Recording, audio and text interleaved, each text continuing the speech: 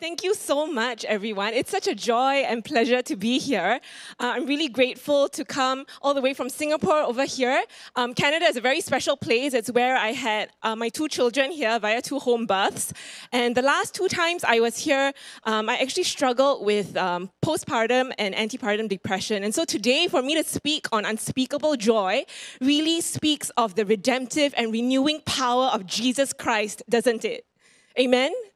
Amen. Amen. I am so excited to be here to share with you a message that's really close to my heart um, on joy unspeakable. And as you can see, this is our, our, lovely family. For those of you who are against speakers on the pulpit wearing jeans, I apologize because these are the warmest pair of pants I have from Singapore. So would you forgive this little Singaporean girl from tropical Asia? Thank you. so as you can see, God has blessed us with two beautiful daughters, and we are right now in the midst of praying about serving in long-term missions in the field. So what has God been speaking to us over the past month? Um, you know, Cliff and I, we just celebrated our 10th wedding anniversary. This was taken recently to commemorate 10 years. But as we crossed 10 years, God placed in our hearts something that was brewing. You know, I just shared with Pastor John and Cindy, why are we back in Canada at this time? You know, it's, it's a long flight, it's expensive. What does God have for us over here? And the reason why we're here at this season is really because of this. While we were commemorating our 10th wedding anniversary, you know, God placed in our hearts to actually produce a series of short relationship videos for young people to share with them um, principles about relationships. And guess what? The unexpected happened when we put in our own resources, our money to, to produce this series, this video series. Guess what? It fell through. I don't know how many of you have put in personal funds or, or resources into things that you believe in, whether it's work, whether it's ministry, whether it's for school, and then have it disappoint you at the end. This project was supposed to commemorate our 10th wedding anniversary, and it fell through.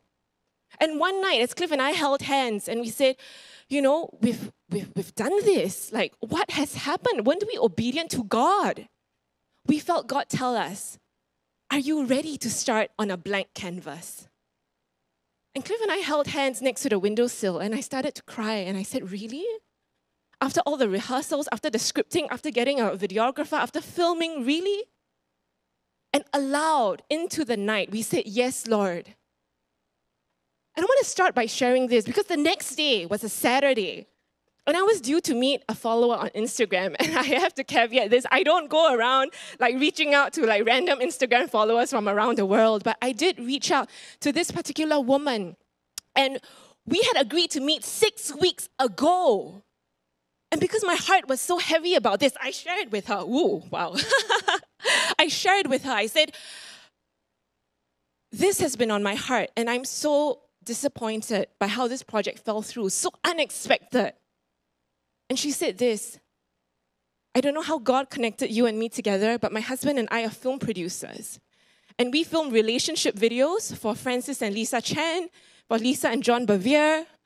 And we want to let you know that if you can fly yourselves to San Francisco, we'll sponsor the whole relationship series for you guys. And friends, when I heard that, tears came to my eyes. And this parable of the five loaves and two fishes, this story came to my mind. Because before that, just the day before, I told God, God, we have put in thousands of dollars into this project and now it's gone to waste. And the Lord spoke to me and said, Those were your five loaves. But look at how I can multiply that to feed thousands when you give everything to me.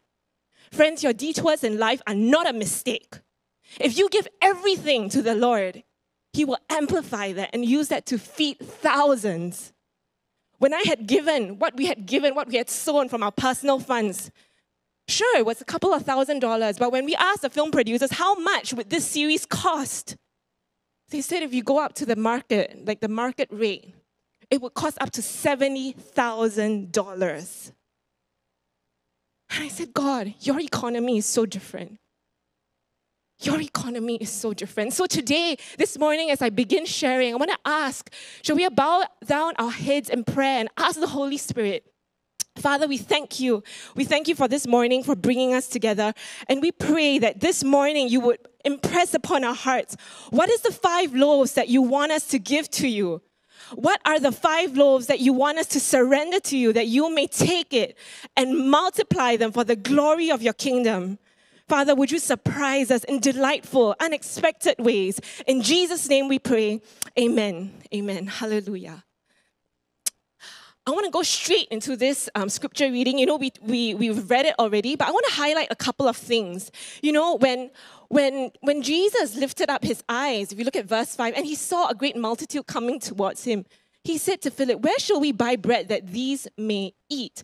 But this he said to test him, for he himself knew what he would do. Friends, did you know this? That when the 5,000 were being fed, they were not starving, they were not on the edge of hunger and dying.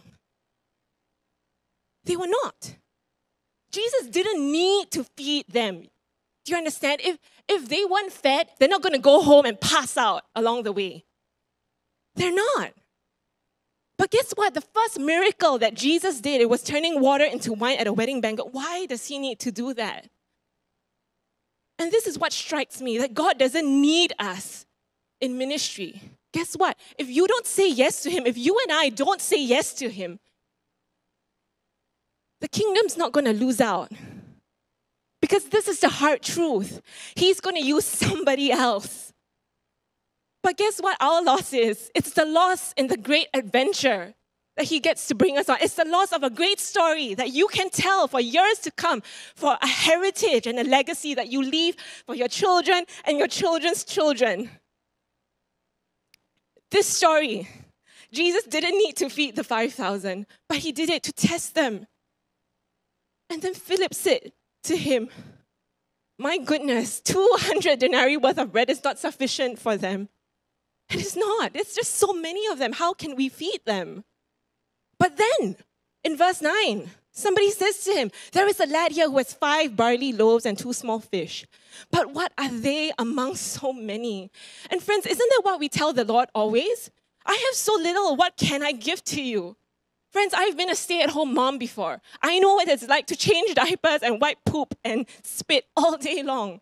We've been through those seasons. We've been through the seasons of mundaneness of work. It's just eight to six or eight to 10 every single day. And it's so boring. And we ask the Lord, I just have this. What do I have to offer amidst all the great adventures that you have on earth?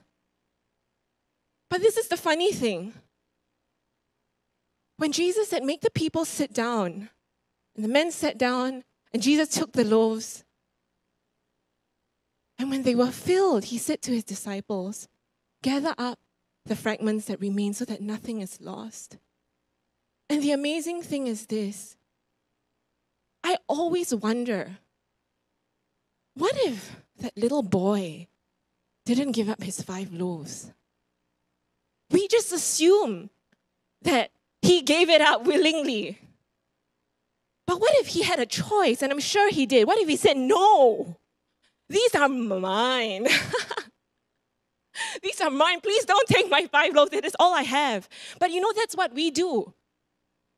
I'll share a story with you later on. But a lot of times we say, These are my five loaves. And God, what's the point of you taking them if nothing much can be used out of them? And from here, I want to share a, the, the first thing that happened in my Christian life. Not many, not every one of you might know this, but when I was 17 years old, when I first accepted Christ, something crazy happened. God called me, He put a little nudging, a little stirring in my heart to go to Nepal to stay there for six weeks. And this is what I really want to encourage each and every one of you to do. Not to just sign up for a mission trip overseas, no, that's not what I'm saying. But what I'm saying is this to heed that still small voice in your hearts to do something different from your everyday routine. We're talking about unspeakable joy here. And yet, what stops that?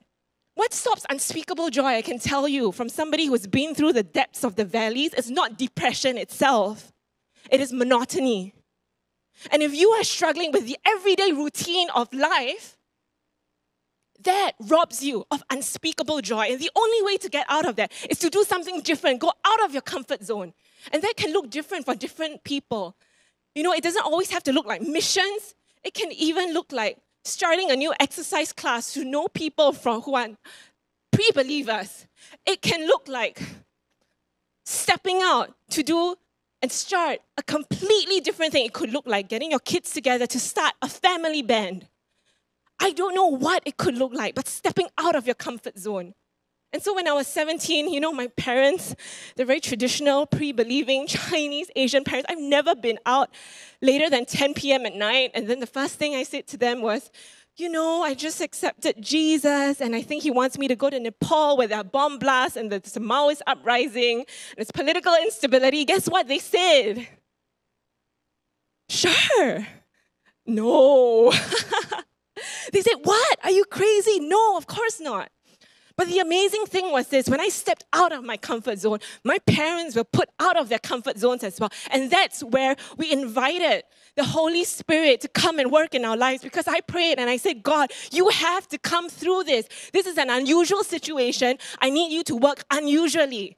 So, friends, don't limit God. If you think these are my boundaries, I am a stay at home mom, I am an office worker, I am a full time church minister, I am just a student. Those are your boundaries. Don't limit God. Because what happened next really blew my mind. It was this my father owned a company of only five staff. It's a really tiny company. Can you imagine that one of those five staff knew a Singaporean missionary from Nepal who was coming back to Singapore for two weeks on furlough and wanted to meet my dad?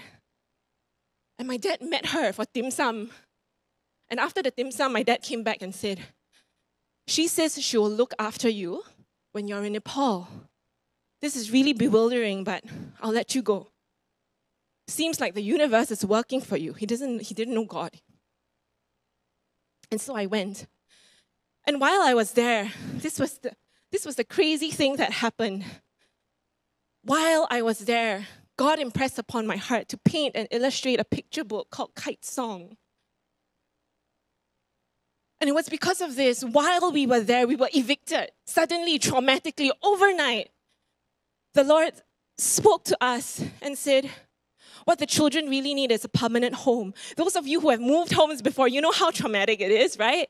But imagine if you didn't have movers. Imagine you had to do everything yourself and you had 30 kids to move out with you. How would that look like? And they did this year after year after year. And the Lord spoke to me and said, They need a permanent home. And I asked the pastors, I said, How much would a permanent home cost? And they said, $100,000. And that's when I had my five loaves moment. I said, God, I am 17 years old. I don't have a medical degree. I haven't even been accepted to university. I have no skills. I have mild depression. I just accepted Christ. I've never read the Bible in full before. Who am I? And the Lord said, I want that little bit that you have. I want that. I brought my painting to the publisher. Guess what he said? I would really love to help you. I really want to sponsor you but your paintings are so bad. These are not publishable at all. so I sat on the aisles of the National Library and I taught myself how to paint. And friends, the amazing thing is this when the Holy Spirit works in your life, unusual things happen. When we're talking about unspeakable joy, it's not normal. It's not a normal joy. It's unspeakable, unthinkable, undescribable. It's beyond your normal limits. And for that to happen, it requires a radical surrender, something out of your comfort zone. So today, as we go through this, I want us to think about what is it that God has called you to. And eventually, when the book was published, three months later, more than $100,000 was raised. Not because I was eloquent. You know, friends, at that time, I was terrified to speak on stage. I only spoke at one church because my speaking was so bad. And through word of mouth, more than $100,000 was raised. They purchased this home, finally. And this is a picture of the girls who had grown up from the first picture that you saw. And this is a picture of almost the same girls sitting in nearly the same positions, but 10 years apart. And as you look at this, friends, I want you to see this that when you give your five loaves to God, it is not a five loaves feeding 5,000 moment and you know what? Close the book and that's it.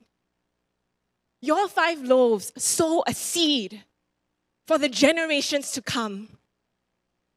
Whether you have children or not, biological children, your life leaves a spiritual legacy for the generations to come. And this is what it looks like. And when you don't give to God and say, God, these are my five loaves, I won't do it, guess what? I am certain those beautiful girls would still grow up and do great things with their lives because I am not indispensable in the kingdom. God would just use someone else, but now I get to own this kite song story and adventure. Because God chose to use a broken little girl like me. My question for you today is where is your brokenness? God wants to use exactly that to prove to the world that He is Christ. Some of you um, might know a little bit about Chinese calligraphy. I put this picture here because just before I came to Singapore, God spoke to me something really bizarre. And I share this in contrast to the missions example because some of you might just not feel a connection with, with missions. But this is something in your everyday life. And I woke up one morning and I just felt the Lord ask me, Will you write Chinese calligraphy again? And I said, What? Do you know I've not written for 20 over years? This is something I learned when I was five years old. It's one of those things, I'm sorry, to me it was like kumon. Every weekend you have to do this. And I'm like, I hate this. Mom, Dad, can I stop this week? No, keep doing it. Mom, Dad, can I stop next week? No, keep on doing it, keep on doing it, keep on doing it, keep on. You have to win the national championships before you can stop. Oh, wow that fast forwarded a lot. Let's go back to that slide. Thank you. I got so tired of it. Guess what? I won the national championships one year. And that was the last year I wrote. After that, I quit and for more than 20 years, I stopped writing. And just a couple of months ago, the Lord said, Will you write for me again? This time to tell a story of renewal, of redemption, put it up as a public exhibition. I want people to foster God centered conversations around these art pieces. And I said, Oh my Lord, I don't know how to do this. I'm not an exhibition person, I'm not an artist. Like, I don't know how to do these things. And then out of the blue, out of the blue, he sends a random person that I don't know to me. And this person says, I run the, some of the biggest malls in Singapore. I own those spaces. And if those of you who know what Singapore is like, it's such a small city state, land is like gold. Right? And so many people told me, they said, you shouldn't start this art exhibition. You're going to lose a lot of money. You're trying to use this. God spoke to me. He said, use this to fundraise for Kitesong Global, your nonprofit. And I'm like, just holding the exhibition alone would cost us tens of thousands of dollars just by booking the venue space. And this gentleman shows out of nowhere and he says this I own these malls in Singapore. All this land and space belongs to me. And he said, What do you want? When do you want it? The land is yours as long as it's available for the dates. And when I heard that, I felt the Holy Spirit speak to me. I am the Lord of a thousand hills. I own all the cattle in the world. What is it that you need to do my work that you do not have? So often we tell the Lord, Lord, I only have five loaves, but we forget that He is the Lord that owns a thousand hills and a thousand cattle. All the cattle, all the hill in the world belongs to Him, friends. I want to encourage you, those of you who are in the arts, in photography, in videography. You might not be in the sciences, you might not be in engineering, you might be doing something completely different. Would you honor that gift and talent that God has given to you, whether it's, you know, being personal one on one with somebody, because God can use that for the glory of His kingdom. Amen? Amen. Amen. Thank you. I want to keep on going and share this that a lot of people don't know this, but when I was in medical school, what had happened was I fell into deep depression. And you know, in Canada, with the weather like that, I can imagine it's sometimes hard to feel that unspeakable joy. But guess what? God used that period of refining and pain to birth different kinds of ministries from it. And one day he asked me this He said, Would you share your story about depression to other people? And I said, No, I can't because I was just graduating from medical school. I wanted to have a perfect resume, like pristine. And Singapore is so small. Like, if word gets out, who's going to employ me? Seriously, I'm supposed to be a doctor, not a patient. But the amazing thing was this when God said go, the book was published close to my birthday. And the amazing thing was this He gave me a vision. He said, He gave me a vision, and, and this vision was really bizarre. I was speaking in the States to a group of people. And at that time, you must understand, I'm a 21 year old. I don't have any idea what public speaking internationally looks like. But I had this vision. And the amazing thing was this over 10 years later, when I was at Johns Hopkins doing my Masters of Public Health, one day I received a phone call. I was outside the bathroom and I got this call, and this woman is like, she's like, hello, in an American accent. And I'm like, who are you? And usually I never pick up my phone, but I, I, I just happened to answer that call. And she says, Hi, you know, I'm from Nashville. And she says this she says, I used to manage like some of the biggest labels in Christian music, and now I've started my own nonprofit. I'm holding a Christian women's conference. Would you be our keynote speaker? And I'm like, Really? And I'm like, um, What's your conference about? And she's like, It's about healing, it's about journeying to freedom.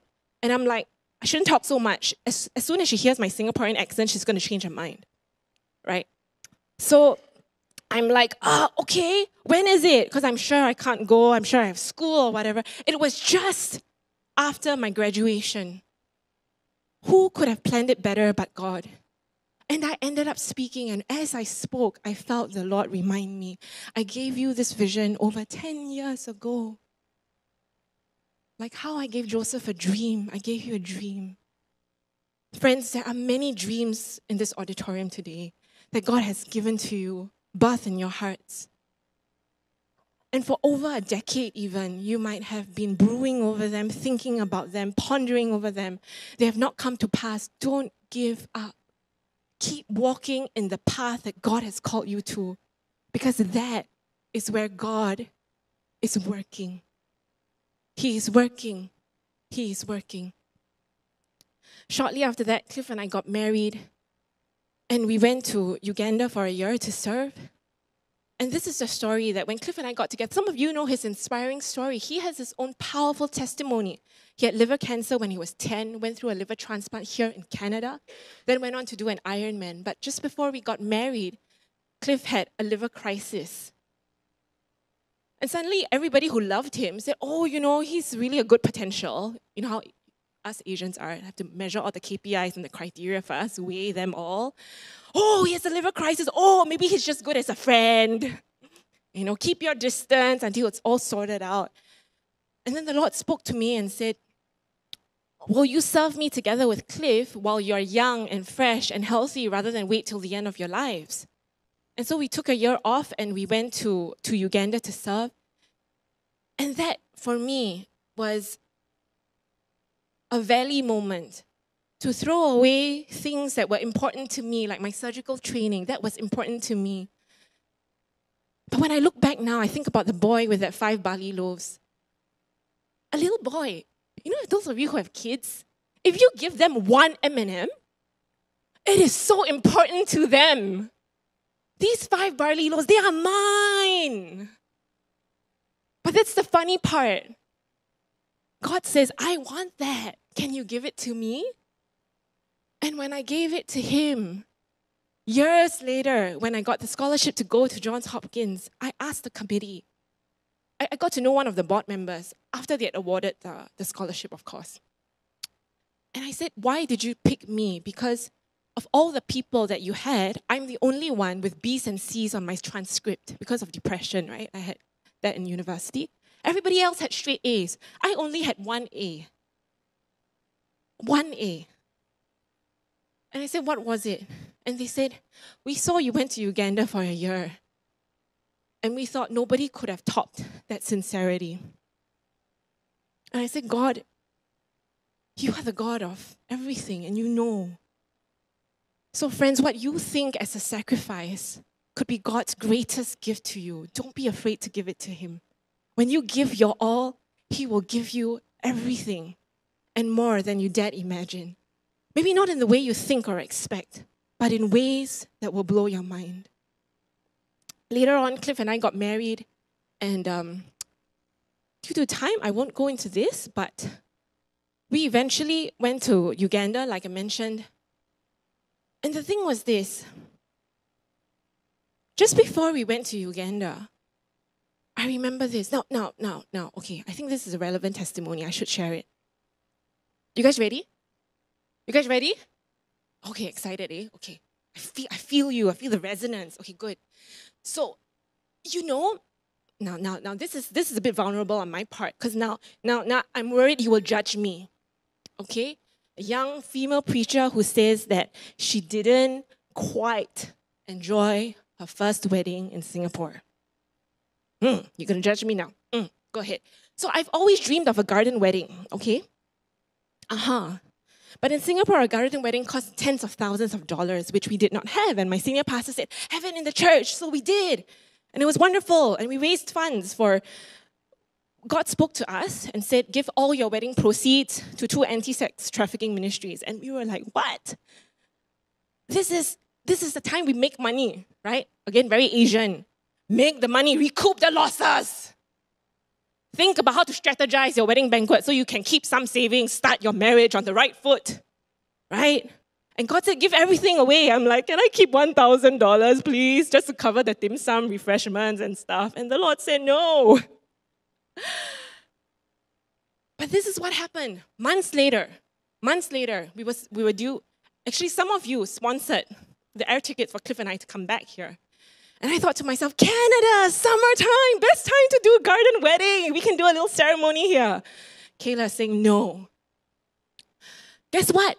All the wedding venues are booked up. The ones that are available are tens of thousands of dollars.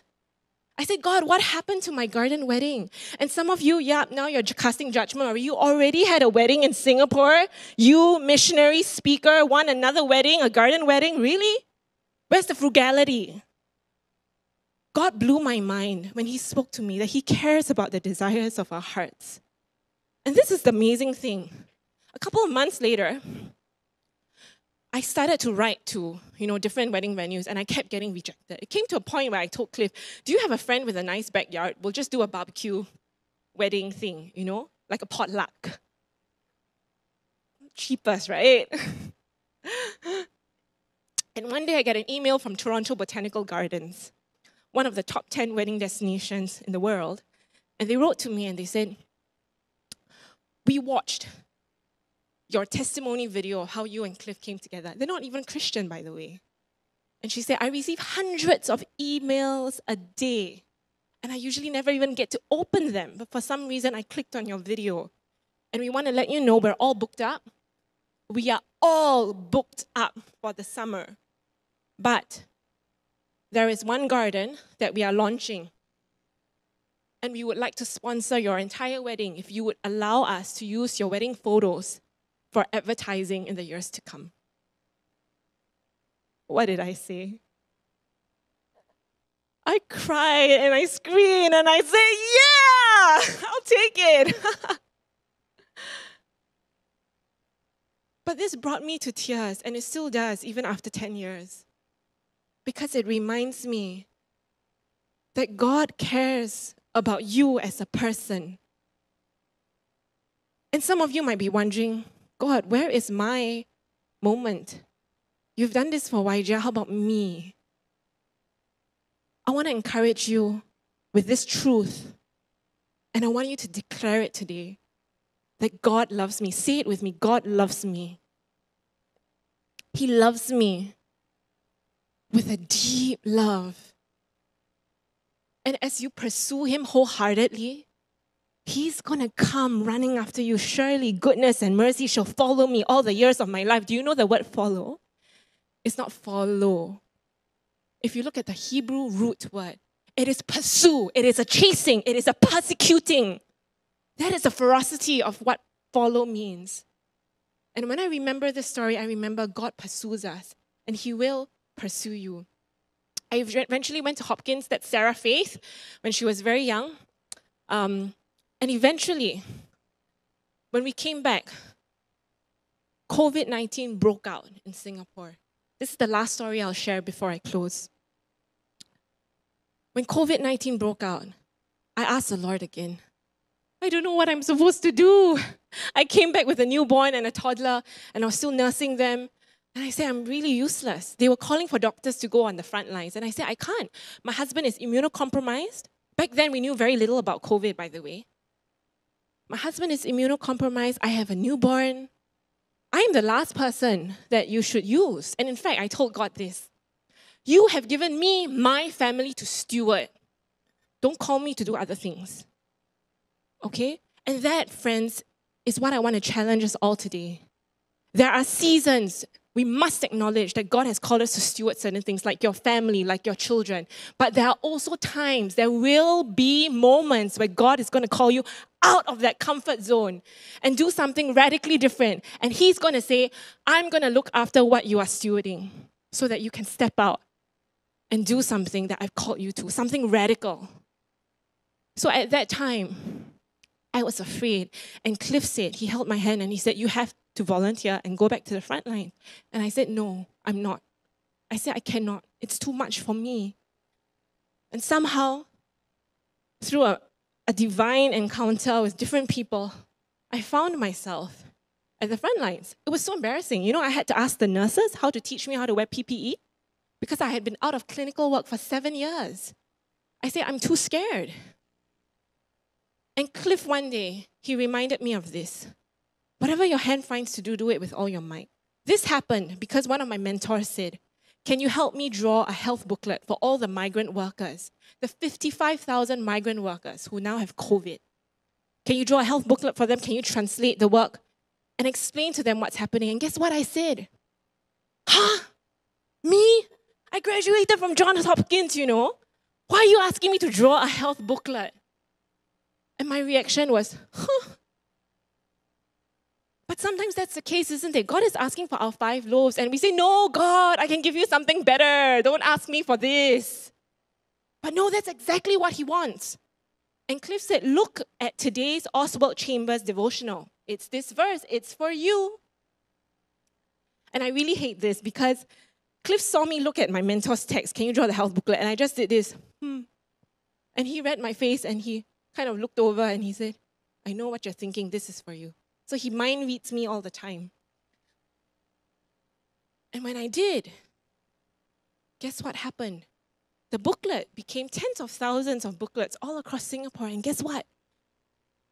When I was 17 years old, I had written on my medical school application. I hope that one day I can do something meaningful with the World Health Organization, with the United Nations. When I went to Johns Hopkins, guess what? I strived and I strived. I knocked on all the doors of the professors. Give me a project with you. Give me, I was like begging them, you know, striving, striving, striving. Nothing. No doors open. Every door slammed in my face. And through this little thing, can you draw a health booklet for me? One day I get a phone call from the chairman of the WHO. And he says this are you the professional cartoonist? And I'm like, No. Hello. Use me. I'm a little more than that. But you see how God was playing with my pride? He was saying, Don't be so prideful. What's wrong if I want to use you this way? And because of that experience, earlier this year I got deployed by the World Health Organization and the UN to Eswatini, formerly Swaziland, to, to Africa for, for seven weeks. And while I was there, it was so hard to say goodbye to my family. But the only reason I did so was when Cliff said, If God has opened up this door for you, will you not go? Will you not go? And I argued with him. I said, If I go, you are going to have the harder end of the stick looking after two toddlers under four. And guess what? God used my five loaves, but He used His five loaves. Because of the experience, you won't believe it. The biggest newspapers in Singapore, Yahoo Finance, these media outlets started to go to Cliff for interviews on being a stay at home dad and changing culture in parenting in Asian society. And I said, God, how did you open up these opportunities to shine Christ in culture?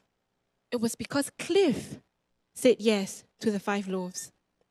So, this is the paradox of joy that in the fellowship of our suffering with Christ comes the deepest of joys. Friends, I want to close right here. If we could just play some music in the background, I want to move into a time of response.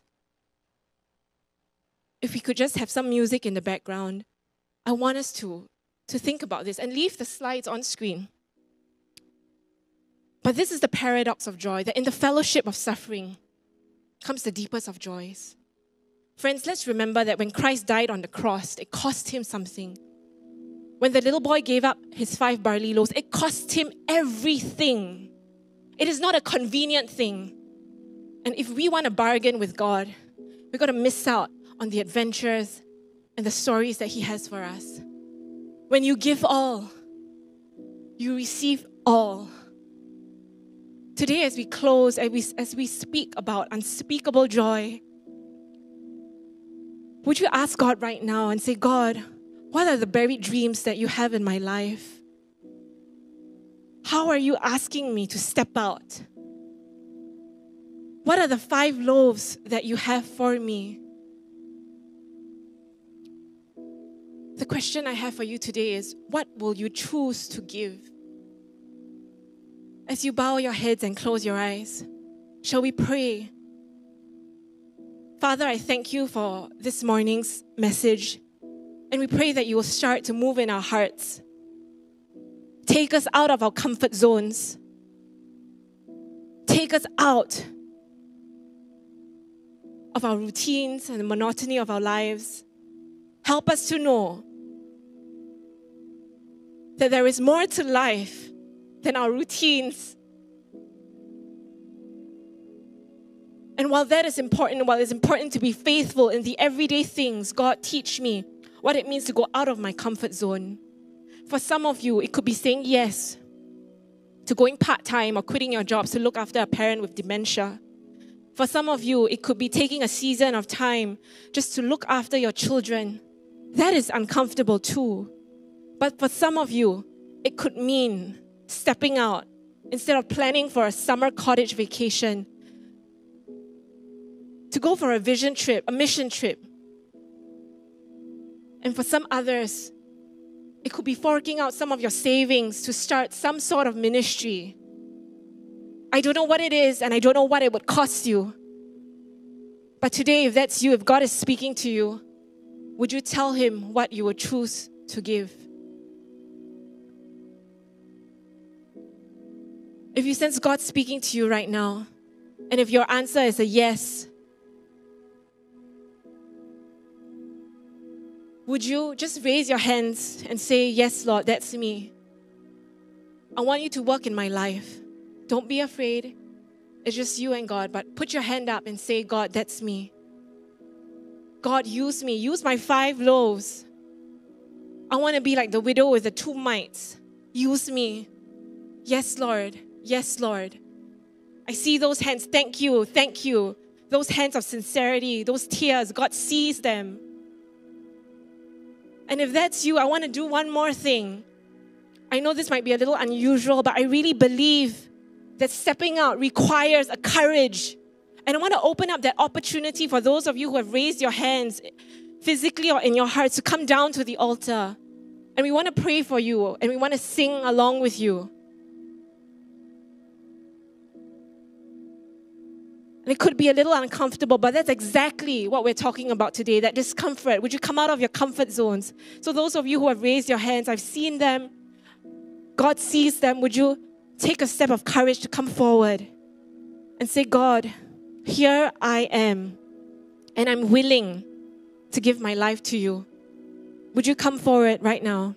Thank you, Jesus. Thank you, Lord. Thank you, Jesus.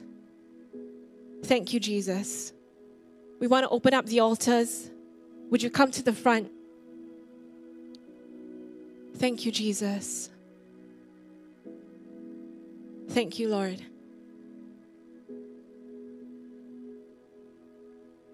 Thank you, Jesus. Thank you, Lord. Okay. We're going to close in prayer. Some of you might be too shy to come up, but know this that God has seen your hearts and He's seen the consecration and He wants you to bring this home with you in your hearts. So, Father, I just want to pray for each and every person today that you would transform their lives. Let them give you, let us give you our five loaves.